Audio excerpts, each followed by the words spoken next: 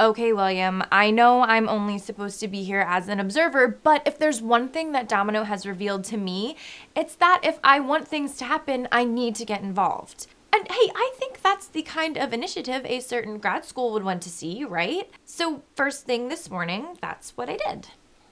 Domino called Tom Parker.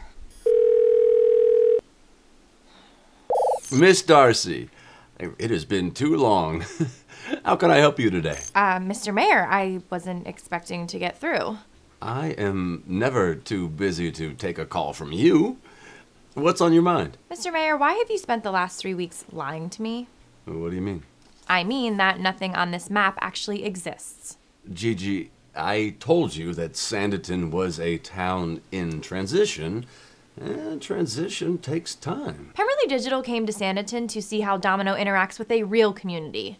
All you're using it for is to sell a fiction. You don't think Sanditon is a real community? I'm real. Uh, my sisters are real. Clara Breton is certainly real. This is a good town full of good people. Where exactly is the invention? The invention is that Clara is running a juice bar. Okay, I, I see. So the invention that you accuse me of is what most people would call the future.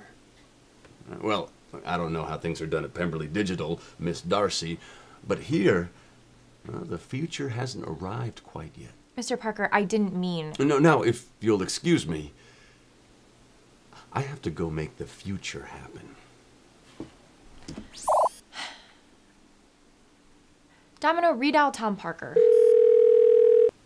Record your message after the tone. Really? Domino, call Edward Denham. Hey, Gigi, what's up? Hi, Ed. I was talking to your boss a little while ago, and he hung up on me. Did you imply that he'd been less than forthcoming about the state of New Sanditon? Um, I didn't so much apply as I came right out and said it.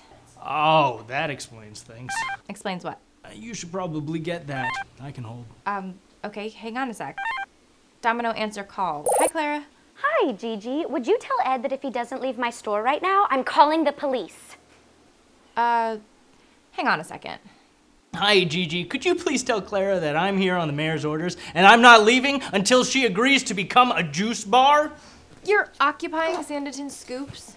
This is completely illegal. You know, I am calling my let me slide lawyer, the ACLU. years. You better. You're lucky he doesn't shut you down. Guys, down. shut me down? Ooh. I would like to see him try. I built this shop from nothing, mat and you can taxes, try my mail scoop from my am cold dead the hands. cop here. Domino, Oh, end look at call. So I guess we've got a window on the real Sanditon.